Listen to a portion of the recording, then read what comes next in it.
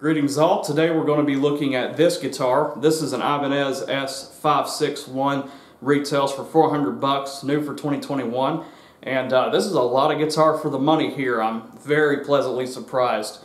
Um, long story short, I've been looking for a good HSS configured guitar for years now. Problem is I hate tremolos and the ones that do not have tremolos I just didn't jive with or they played like shit or both. Um, got my hands on this. I didn't really see any YouTube videos at all of this, which is odd. Not even Henning made a video of it. Um, it's not in stock really anywhere. And then walked into a local shop and there it was. Tried it out, bought it on the spot. Um, now first off, this is not completely stock, so let me get that out of the way. Um, I didn't change anything because I had to. I just did it because I can, and I wanted to make it my own. So yeah, I'm going to deck it the hell out. But first off, this is just uh, Hipshot saddles right here have their O-ring knobs, uh, Graphtec ratio locking tuners, and then your Schaller S-locks right there. So that's what I've changed on it so far. The electronics are totally stock. Um, let's go ahead and go over the aesthetics. Obviously you have your seafoam green, which is sexy as hell. Um, this, although it's a rosewood fretboard, it looks ebony. You would not be able to tell unless you felt of it or unless you looked at the specs, obviously. But this just looks great. Um, I mean, just look at it. And uh, now the Ibanez logo on the headstock, of course the headstock's matching. The logo is ever so slightly jagged, but being that this is a really bright neon color, you're going to have that on an Indonesian guitar. It's just going to happen. But uh, it's not a big deal, it's barely noticeable. You have some bird's eye action going on on the neck there. Pretty cool, right? And the next little feature that's pretty nice is uh, they actually push the string fill right here on the low E a little further back so you get a little bit better tension on the low E. That's a good and a bad thing. Good thing because you get more tension. Bad thing because if you want to change this bridge plate to like, in my case, I want to put a Hipshot on it, you're going to have to widen this hole right here for the string fill to go through uh, for it to line up. So just keep that in mind. So uh, let's go ahead and take a look at the build quality. So first, because I did say that this is not completely stock, I'm going to show you um, what it came with originally. So for the volume and tone knobs, you just have your typical little knurled metal knob. They're good, they're rock solid, no issues whatsoever. No set screw, but they uh, they hold in pretty tight because the way this works in here. Um, and then for your saddle blocks, run-of-the-mill hardtail saddle blocks here. Um, the only real criticism I have to give these though is uh, these set screws are a little bit too tall so especially if you have low action, mine's at one and a half mil at the 12th fret, uh, these screws will poke you. So if you don't plan on changing any parts, I would at least recommend getting a little bit shorter um, set screws for your bridge saddles. And then last but not least, these are the stock tuners, just your typical basic tuners, um, non-locking. But these are actually very stable. They didn't have any kind of slippage or anything. I didn't really have a single problem with them. I mainly just wanted to change tuners because I can, and uh, I like locking tuners. I'm spoiled like that. But yeah, nothing wrong with these. Now, for the positives of the build quality. Well, first of all, it's a pretty substantial feeling guitar. Even though it's an S-Series, has that real thin body, it feels like it's pretty much rock solid, like it's going to last you for a long time. Um, the frets are nice. The uh, electronics that they come with are pretty good. I don't plan on changing the switch at all. It's very solid. I don't really see there being an issue with this. I am going to change these pots. Right now they're fine. They got good resistance and everything, but I could tell this one's getting ever so slightly scratchy, so CTS pots are going to eventually be right there.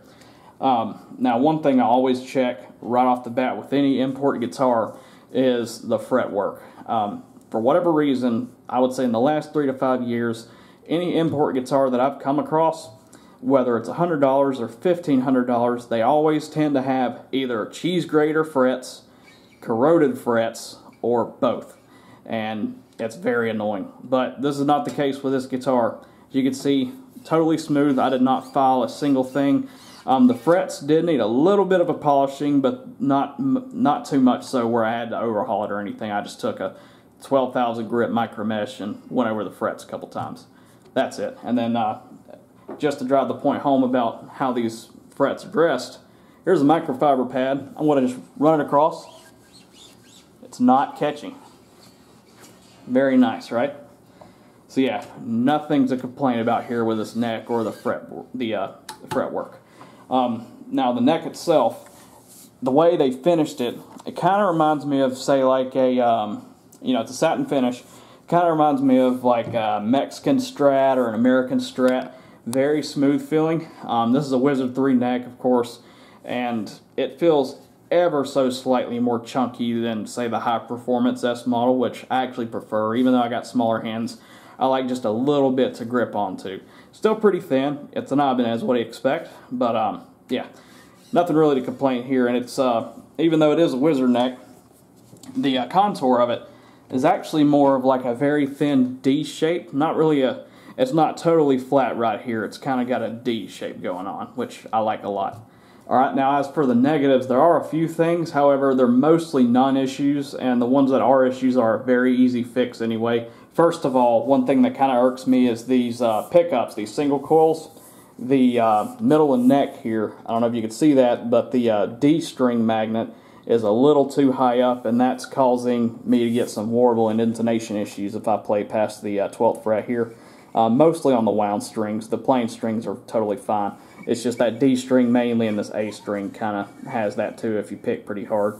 As you can see, it's a little too high. I'm going to get a luthier to actually lower those two magnets because I actually really like these pickups, these uh, single coils. They sound great. So those are not being changed.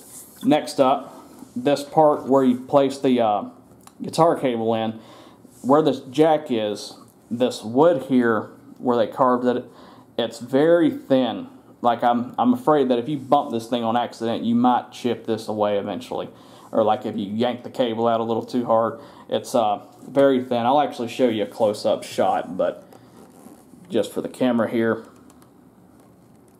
And it's also just a tiny, tiny bit rough right there. It's not a huge deal. I mean, it's just a jack, but I don't know. I'm, I'm a little worried about that being just a little too thin. I wish they would have made just this right here a little bit thicker. One thing I wanted to uh, mention is these string ferrules here, for whatever reason, when I first got this guitar and I strung it a few times, um, I had like sawdust coming out of these holes. Um, it was like little bits of wood, not necessarily sawdust, I mean little tiny little bits of wood too, which is kind of weird. You could see it kind of left some residue on my mat here. But uh, that eventually stopped, so just take it for what it's worth. I just wanted to mention it because it was there. All right, so the next and final inconsistency here has to do with the uh, the finish on the side of the neck here. I'm not sure if they just didn't sand it down all the way or if there's some little bit of lacquer left off or extra lacquer. It's hard to tell. I'm no luthier. I'm just telling you what I see. But um, first thing that's most obvious thing is this little rough spot right here on the maple. It's just a tiny bit rough. Doesn't really affect playability. I don't notice it when I'm actually playing. Um, it's just something to point out. And if I were to take a pick and show you, you can actually hear it. It's not the smoothest. Like if I were to just lightly run that across. See there? And uh, the same deal with a couple little spots on the actual rosewood here. You can kind of see it a little better up there. Again, it's barely noticeable. I just wanted to point it out. And then right here, I can't tell, like on the 12th fret, I can't tell if that's a hump in the rosewood or if that's extra bit of lacquer, but there's a tiny, tiny little bump right there. It looks like it's just lacquer. You could probably just sand that off. But uh, these little tiny, tiny little inconsistencies, you're going to get that on a guitar in this price point, and these are very easy fixes. Just take some really fine grit sandpaper and go over it a little. So here's a tuning stability test. I've got 10 to 46 strings. I'm tuned to E flat uh, one and a half mil at the 12th fret for action. And this is a plastic nut. So here's your open chord. Alright now here's some stupid shit.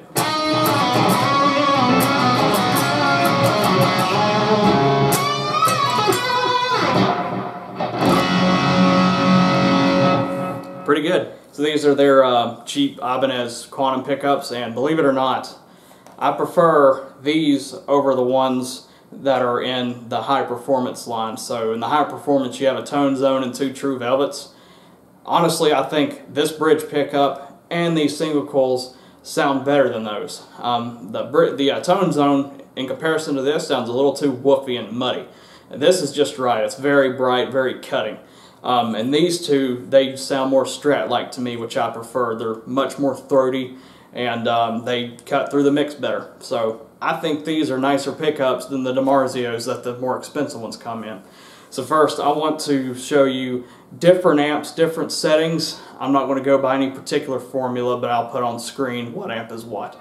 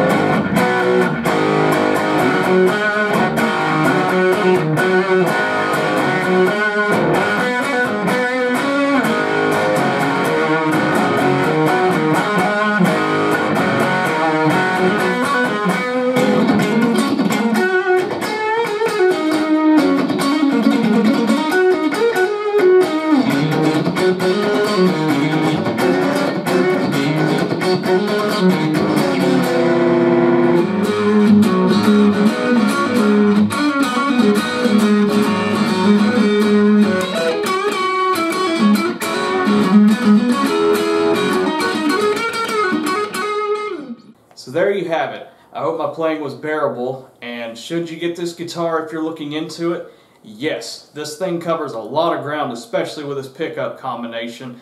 It's extremely stable. I've owned about 40 guitars in my life, give or take, and this is some of the most fun I've had with a guitar in quite a while, and it barely weighs anything, which doesn't hurt either. Also, it's a great blank canvas to do whatever you want with it. I'd be perfectly happy with it as is. You don't really have to do anything to it. But since this will be my new main guitar, I'm going to be decking it out as much as possible. You saw what I already put on it. Um, in addition, I'm going to be putting a DiMarzio Dominion in the bridge position. I'm going to change out this stock Ibanez plate to a Hipshot one, assuming that my tech can deal with that ferrule issue. I'm going to give it a Graphtec TUSQ nut, and uh, yeah, that's about, oh yeah, CTS pots, of course, and then a fret link in each one. So yeah, this is going to be a total badass, even more than it already is. So I hope you enjoyed the review. Feel free to leave a comment if you have any questions or anything. And uh, until next time, horns up.